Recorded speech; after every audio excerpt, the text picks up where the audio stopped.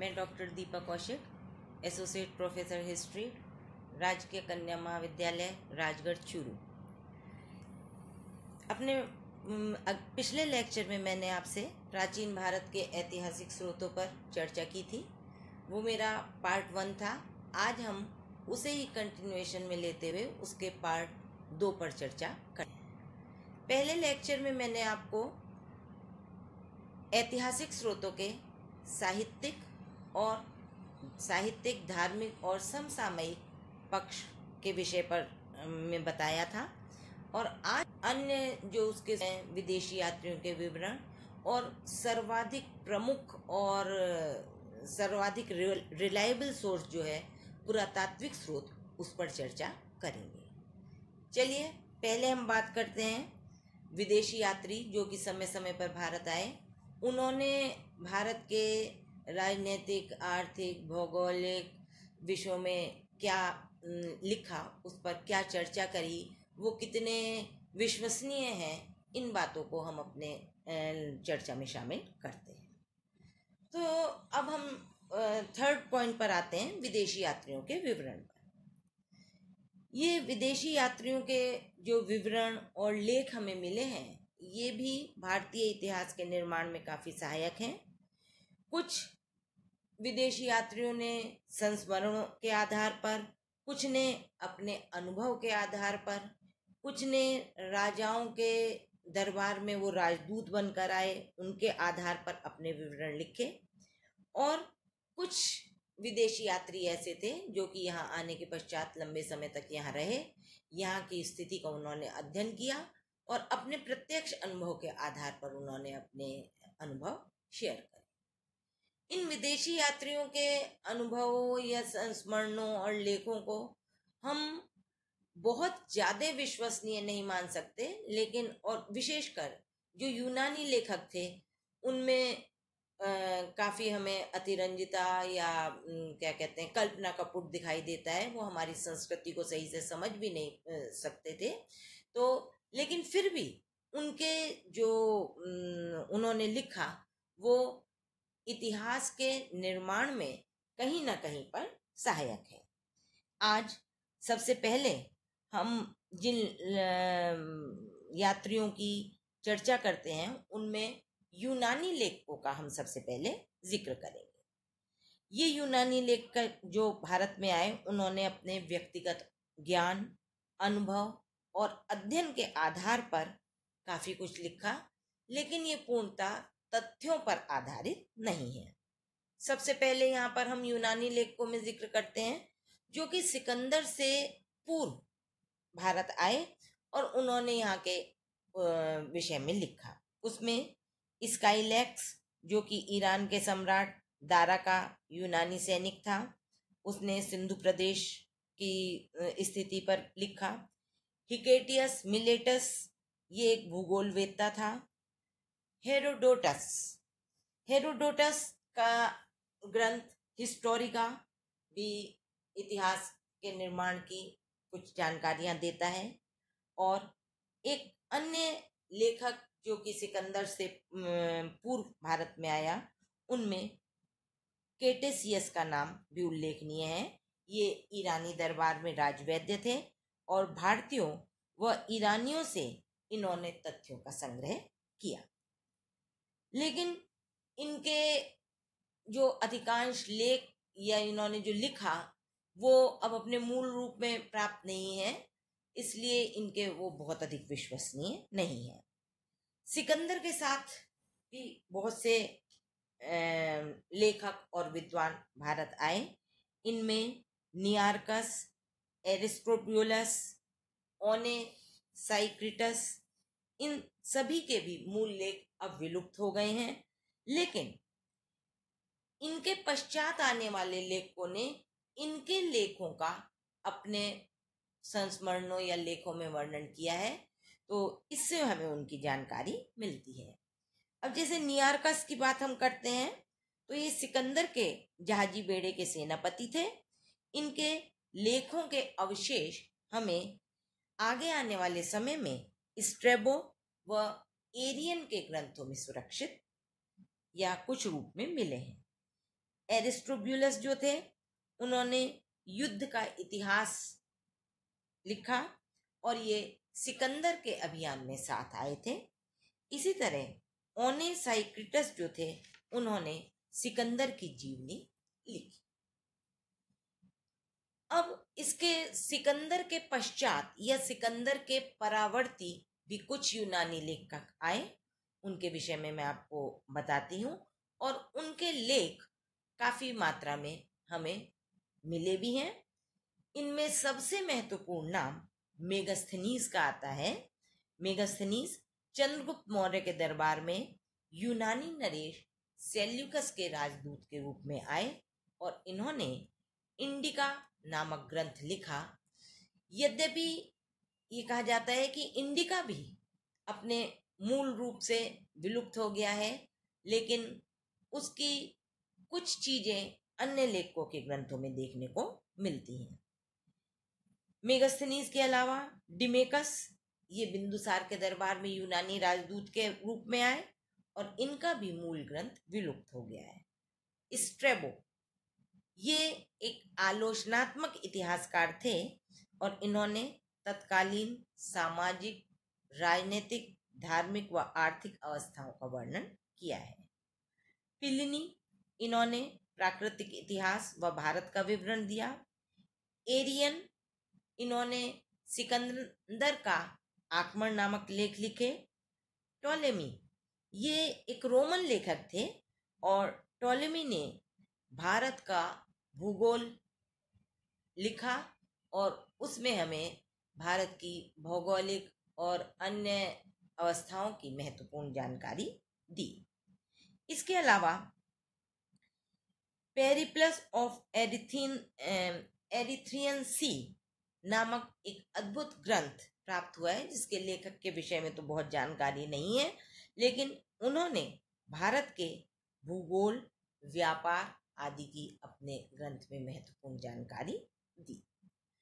ये तो बात हुई यूनानी लेखकों की इसके अलावा कुछ चीनी लेखक, कुछ चीनी लेखकों ने तो केवल लेख लिखे और कुछ चीनी यात्री भारत आए और भारत में रहकर उन्होंने यहाँ पर भारत की स्थिति का अध्ययन किया, भारत की तत्कालीन विश्वविद्यालयों में अध्ययन किया, बौद्ध धर्म का अध्ययन किया और तब यहाँ का इतिहास लिखा, उनका जो द्वारा लिखा गया इतिहास है, वो इनके कंपैरिजन में, यूनानी लेखकों के कंपैरिजन में ज़्यादा विश्वसनीय माना जाता है।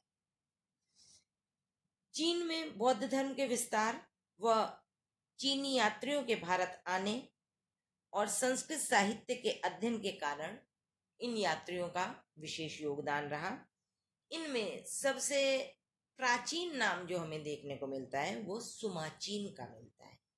इन्हें चीनी इतिहास का पितामह भी कहा जाता है, उनके द्वारा ईसा पूर्व प्रथम शताब्दी में लिखे गए ग्रंथ में भारत संबंधी जानकारी का उल्लेख किया गया।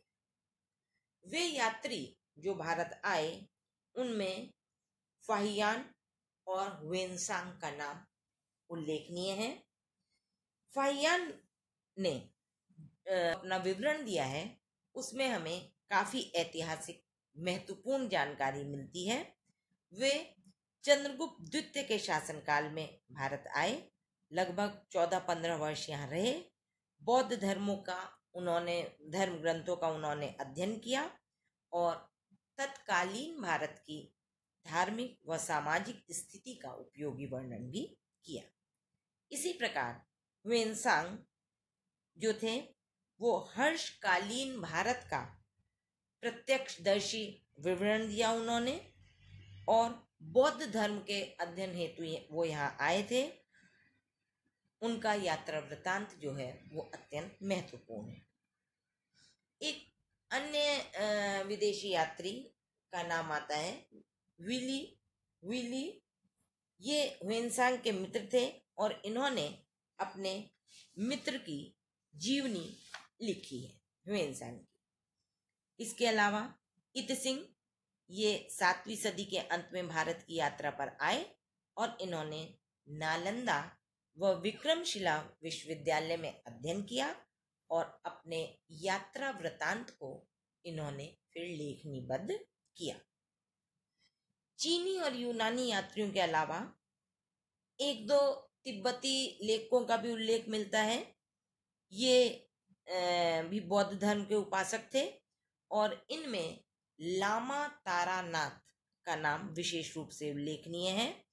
लेकिन इन्होंने कंग्यूर व तंग्यूर नामक ग्रंथ लिखे लेकिन ऐतिहासिक दृष्टि से इनके ग्रंथ अधिक विश्वसनीय नहीं है।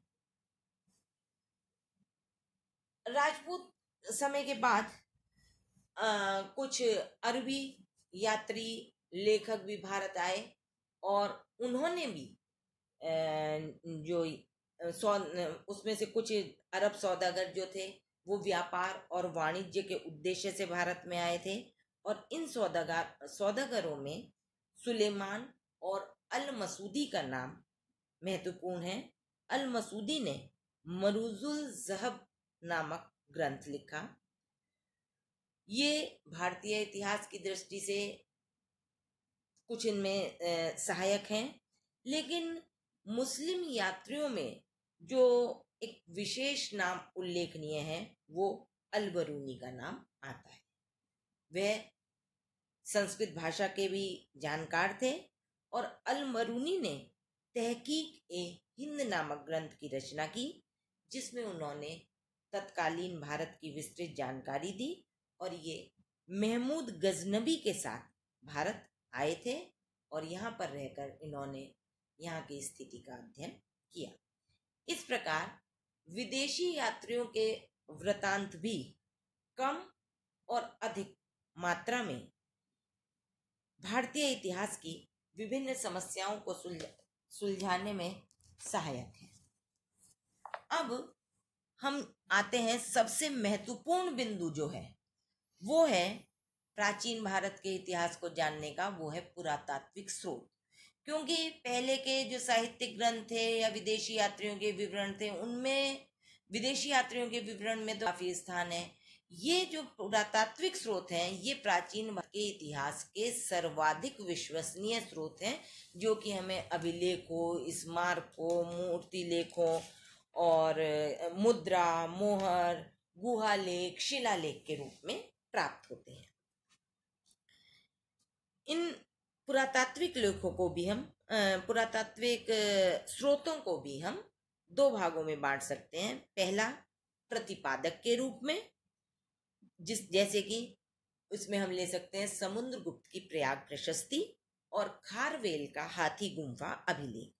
और दूसरे होते हैं समर्थक के रूप में, जैसे पतंजलि का महाभाष्य, क्योंकि इसमें जो वर्णन मिलता है, उसमें पुष्यमित्र शुंग ने अश्वमेघ यज्ञ कराए और पुरातत्व भी इसका समर्थन करता है।